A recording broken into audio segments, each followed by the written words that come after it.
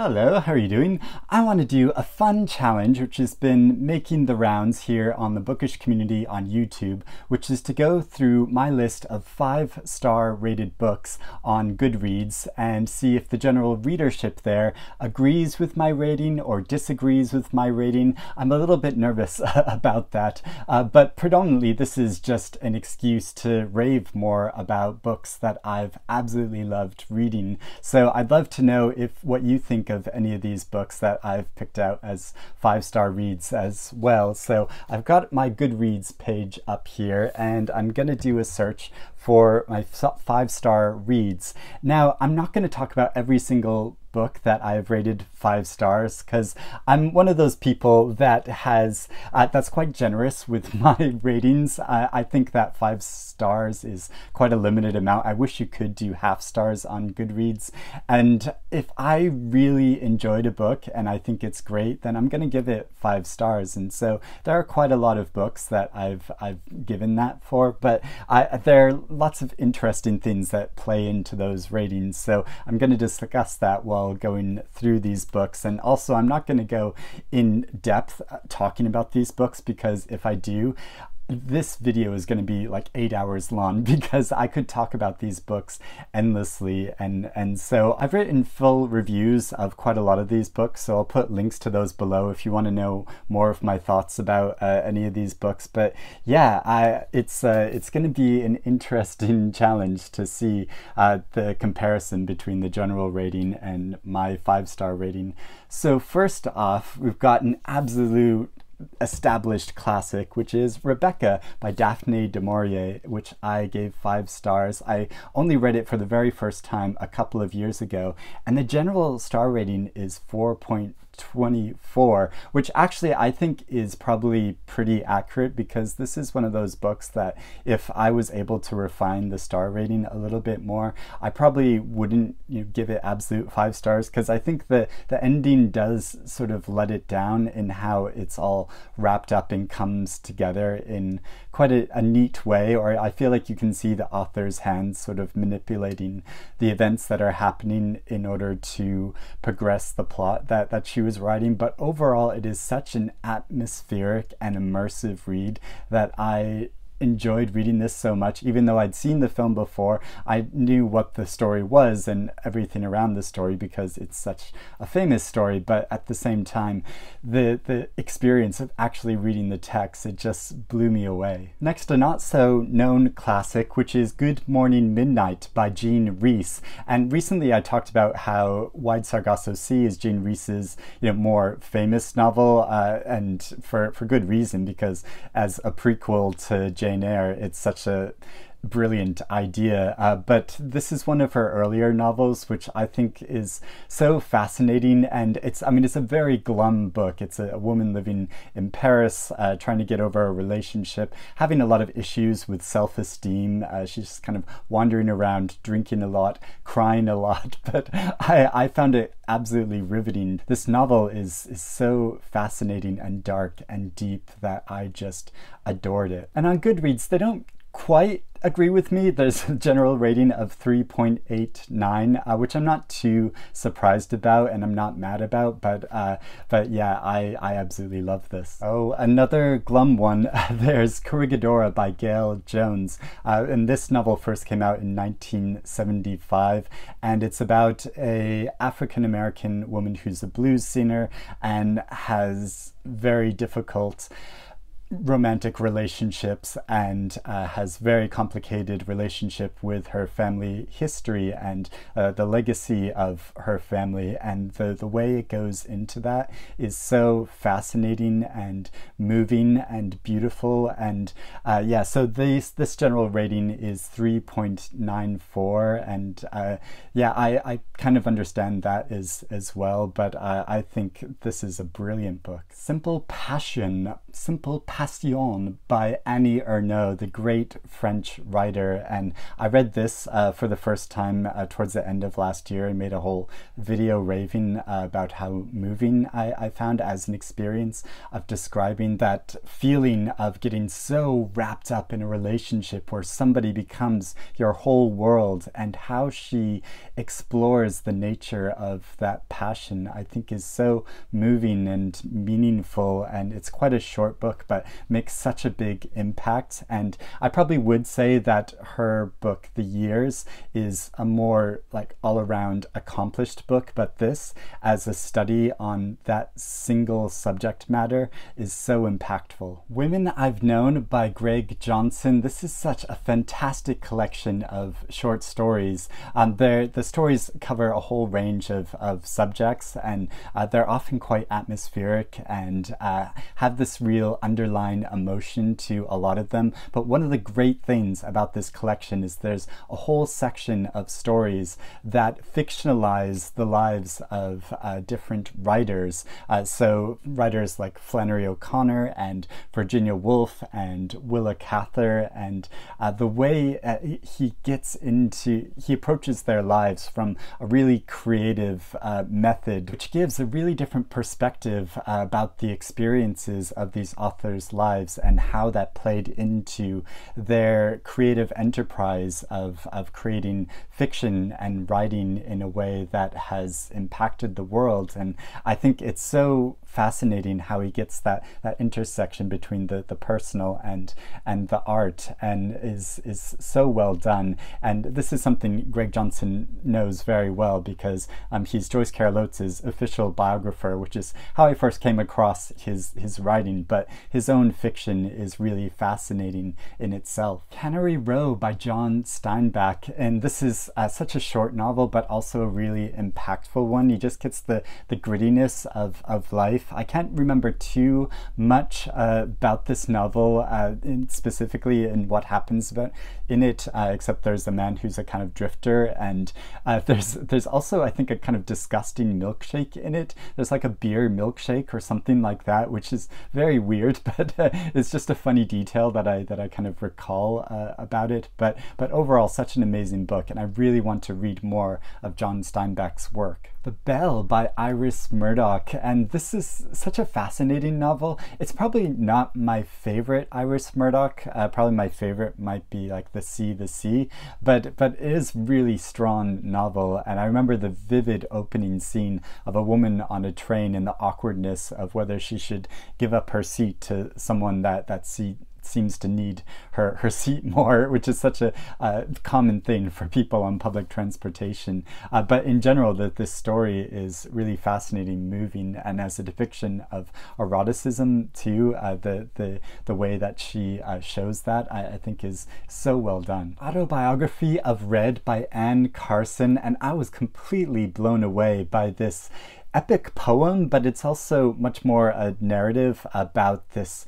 creature, a figure from myth uh, called Geryon, and uh, from storytelling of, of like epic storytelling uh, and his how she melds that experience from this historical point of view with a kind of more modern sensibility is so fascinating and moving and there are so many lines in it that just absolutely struck me to my core. I, I think it's incredible. And looking at this copy I was just reminded how I got to see Anne Carson read and and discuss from it and I got her to sign my my book. So the general general rating for this is 4.3, and I'm so glad that lots of people agree that this is such a powerful book. If Beale Street Could Talk by James Baldwin. I read this shortly before the film version came out, uh, and the film version is really great as, as well. But the novel is so strong and powerful and has some aspects about it, you know, which obviously didn't make it into the film.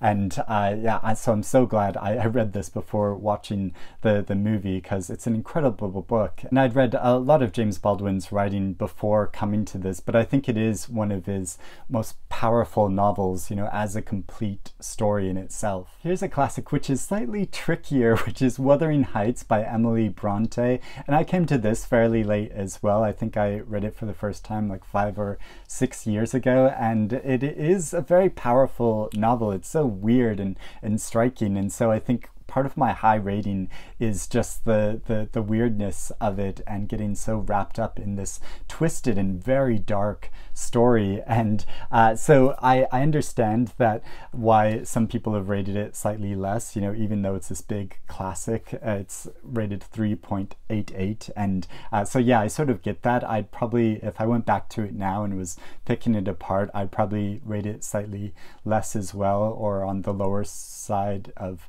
of four, like four 0.25 or something like that if I wanted to get that specific. But uh, I mean, it feels ridiculous in a way to be rating classic books like this when this is such, you know, an incredible text that's been so influential throughout the, the years, you know, whether you like it or hate it. And uh, I went to actually see a theatrical production of this recently at the National Theatre, um, which was so fascinating. And, uh, and but I didn't totally work, um, though they made a lot of really interesting choices. And they were kind of making fun of it within the play uh, about how difficult it was to keep track of all of the characters and the lineage of, of the characters, uh, but did give me a really different perspective on the text. In Youth is Pleasure by Denton Welch, um, which is a lesser known like English classic, but is so fascinating. I read it for the first time last year, and it's another one of those books that I was just so struck by the, the weirdness of the perspective, and it's such a singular perspective that I've not read about anywhere before uh, about this adolescent boy that's just kind of wandering around adrift um, during a summer and his thoughts and impressions of the world around him and the people around him is so unique and uh, unlike anything I've read before, and had a really fascinating conversation with Edmund White about this novel, and I recorded that and put it on my channel last year. And uh, yeah, it's it's such a fascinating book, and um, he he didn't write all that much fiction during his short lifetime, um, but I'm interested in reading the the rest of his books. A much more recent book, uh, the Argentinian novel Elena Knows by Claudia Piñeiro, currently on the international Booker Prize shortlist.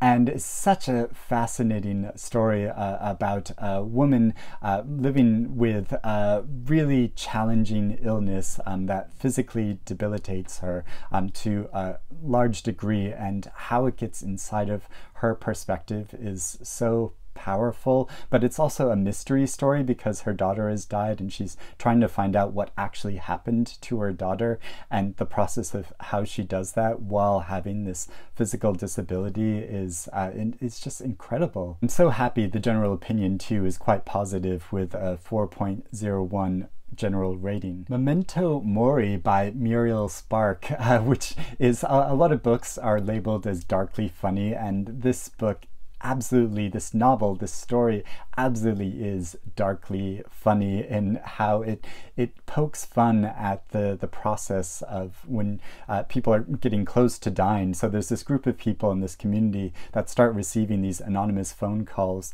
from someone saying you're going to die.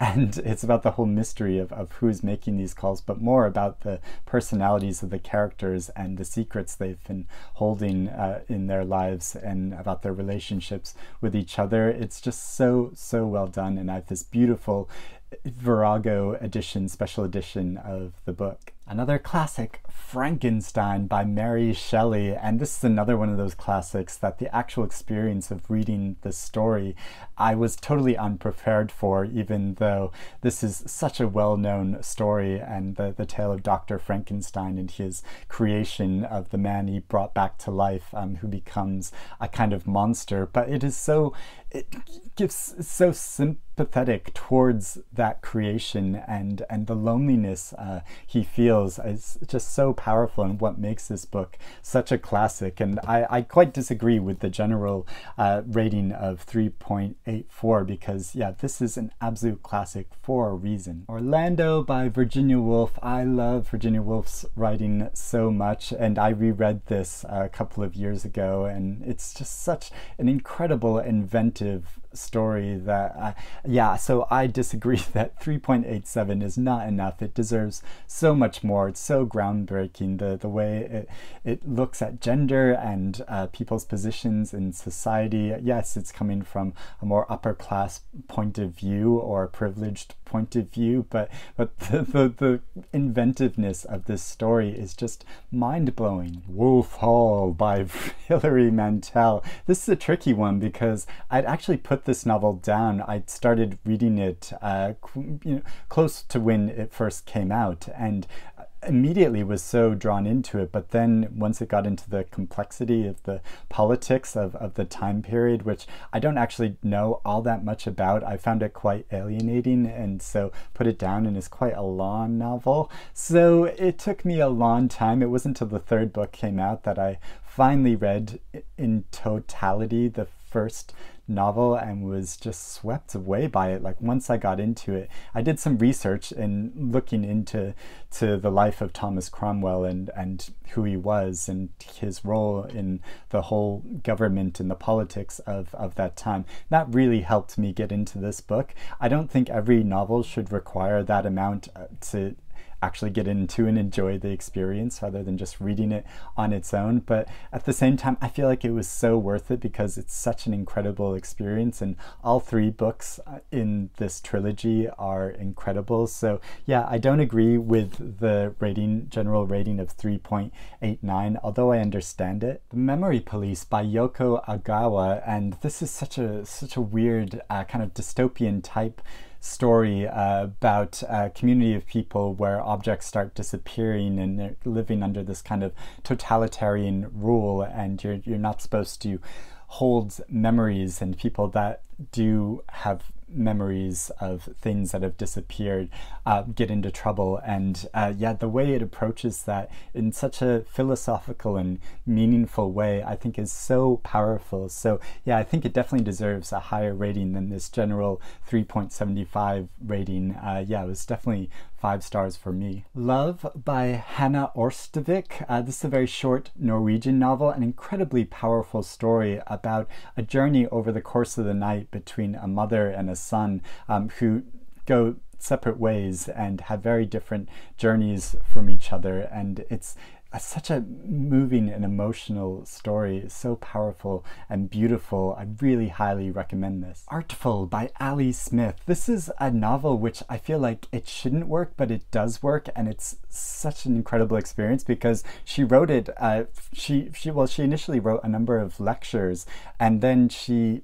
incorporated these into a, a novel, um, which is about an individual that is uh, going through a grieving process. And how she does that and incorporates all of this is so beautiful and impactful that I, I shed actual tears while reading it. It's, it's so amazing, and Ali Smith is an incredible writer. Americanah by Chimamanda Ngozi Adichie. I have this really funky uh, special edition of, of the novel.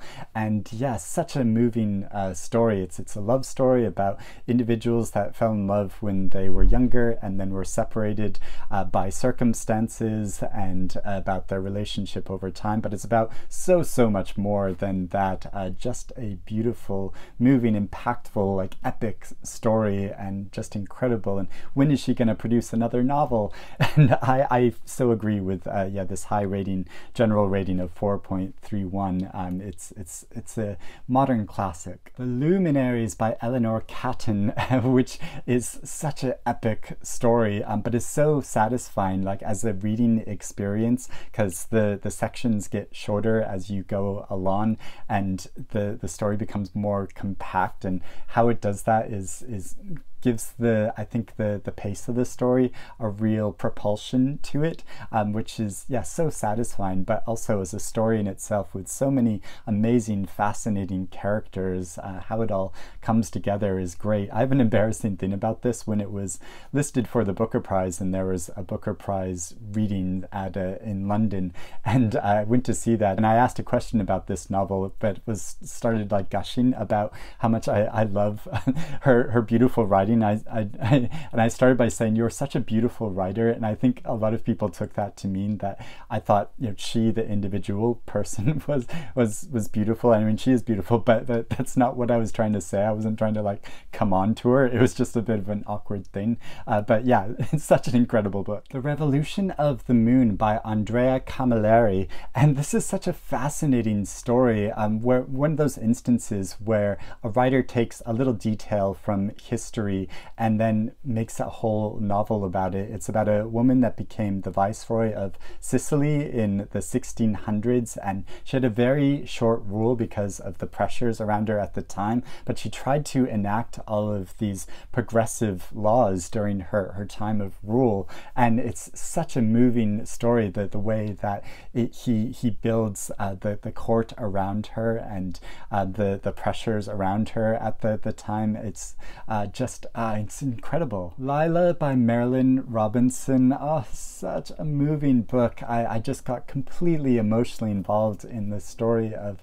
of this girl and following her uh, transformation and interactions with people as she survives and changes and and oh so good. Definitely deserves at least a general four star rating. That 3.95 she's robbed. The shore by sara taylor a family saga and i love a good family saga. And this is told in such an inventive way uh, that crisscrosses across time in, in history and uh, to follow different family members at different times. And the way it builds this portrait of uh, the family generations of this family over time but also the land they live on. They, they live on these uh, islands off the coast of Virginia and the depiction of the land and the way the, the land changes and the community changes over time. It's incredible and I think it deserves so much more than this general 3.5 five rating. No, five stars. Mr. Splitfoot by Samantha Hunt. This is one of those novels I sort of forgot I read, and I feel like it's become sort of forgotten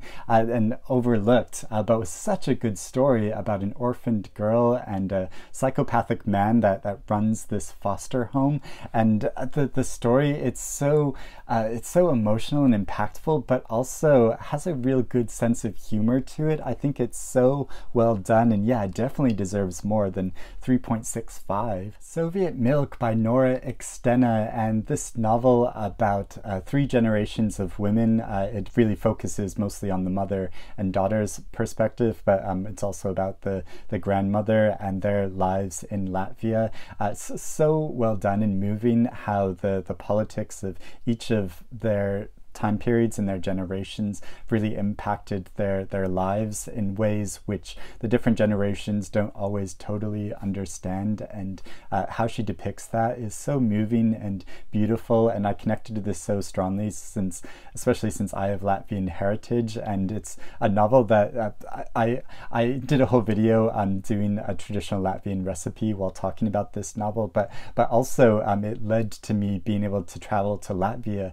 for the very first time time myself, and I did a whole video about that as well. So this this book has such personal meaning for me, and I'm really glad to see the the general rating of 4.32, like such a high rating for it, because yeah, it's so beautiful. Solar Bones by Mike McCormack, and this is such a weird, like wonderful novel narrated from a man after he's died, and he's sort of inhabiting the house that uh, he lived in, and the the perspective as it goes throughout his day so beautifully done. It's it's sort of Irish writing at its best. Beautiful Days by Joyce Carol Oates, a collection of short stories. I'm sure some of you that really know my reading tastes have been waiting for Joyce Carol Oates to, to come up. And yeah, this is one of the first five-star books that, that came up because I, I think her writing is incredible. The way she gets in the side of the lives of uh, these characters, many of whom are girls or adolescents or teenagers, um, is is so powerful. There's also a real creepiness and darkness to her writing quite often as she gets into the psychologies and the, the twisted psychologies of some of these characters. There's one story in this called Owl Eyes that is just, ugh. And I just noticed this. Um, actually, she dedicated this book to Greg Johnson, who I talked about earlier. Normal People by little known writer Sally Rooney, um, which there, there's so much discourse about this, this novel. I mean, what can I say about it? But I am a Sally Rooney fan. I think her writing is is so involving and moving, but but also really complex in the ideas she explores and how she handles that and approaches it. I, I think is so well done. And yes, I was a fan of the the series of of Normal People and her other books, and looking forward to the upcoming series of conversations with friends. Uh, I'm not too surprised by this rating of 3.85, but definitely think she deserves more. And it makes me really wonder. So so what are are some of the, the highest rated, general highest rated books um, that, that agree with my five star rating? And what are some of the lowest general ratings um, that compare to my five star rating? So I'm going to look at that now. Okay, the book that comes up with the highest general star rating of, out of all the books that I've rated five stars is Caste by Isabel Wilkerson, uh, which I totally agree with. It totally makes sense. This, this nonfiction book had such a big impact on the way I I, think about race in America and the way we perceive that and, and relate to that. I, I often think back on this book about and about what it what it says about our conceptions about race and racial relations in general. Um, yeah, such a moving and powerful book um, that I think has made a big societal impact. Becoming by Michelle Obama. I mean, how can you not love this memoir? I just completely devoured it and fell into it and wished M Michelle was my friend. Another of the highest rated books, another recent novel, The Love Songs of W.E.B. Du Bois by Honorée Fanonne Jeffers. I think this deserves all of the praise and acclaim it gets and deserves more awards, more awards, more award nominations. and another incredible family saga. Oh, and here we have another big, huge family saga, The Eighth Life by Nino Haratischvili. A uh, big, big family saga has so many stories to it, uh, but is so involving and richly rewarding to, to read the entire thing. And I had a wonderful conversation with the author and translators here on my channel, so I put a link to, to that down below as well. And finally, from some of the, the top rated books uh, in general that, that uh, agree with my high rating uh, is Don't Call Us Dead by Danez Smith, this poetry collection, which is so impactful and powerful and emotional. I got completely wrapped up in these poems. Uh, like every single one of these poems, I, I think is stellar and, and really it says something much bigger, you know, than the, the short amount of words that are used within the, the collection. And if you get to see Danez Smith perform their poetry, do because uh, such a powerful performer as well as a poet. Okay, this is nerve racking now some of the lowest rated books uh, in general, uh, which I gave five stars to. So actually, the lowest rated book, oh, okay, this is surprising. Uh, so, Felix Culpa by Jeremy Gavron, uh, which is an odd novel uh, from 2018 uh, that, that is uh, very creatively done because it's actually mostly made up of lines from other books. Um, he, he uses this kind of collage effect where he takes text, lines of text from I think over 80 different books and combines it together to make a single story. And that seems like it shouldn't work. And I guess it didn't work for some people because um, there's a general rating of 2.75. But, but I thought it was so fascinating and, and actually does come together as a story in itself. Um, so yeah, so so interesting. Uh, but yeah, I can kind of see why it's controversial. Ooh, the Children's Home by Charles Lambert. This is such a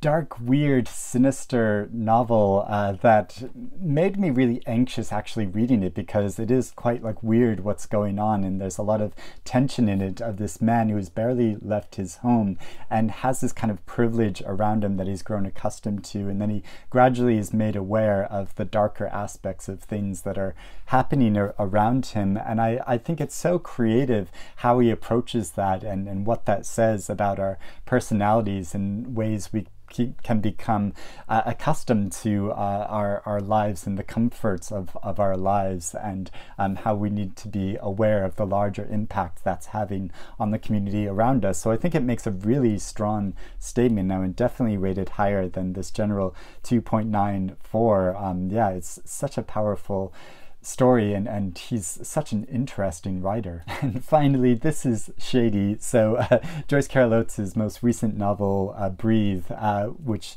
has a general rating of 2.90 and uh, but I rated it much higher because I absolutely love her writing, but also I think it's such a powerful depiction of a woman who is grieving and how her consciousness becomes kind of fractured as she's trying to persist and just carry on, but at the same time she's in an absolute crisis point of her life. And I had such a, a moving and meaningful conversation with Joyce Carol Oates talking about this novel last year, which I, I posted up, uh, the video of that I posted up here on my, my channel. And I, I, felt so privileged to be able to, to talk to her. And I've had a number of conversations with her, her now.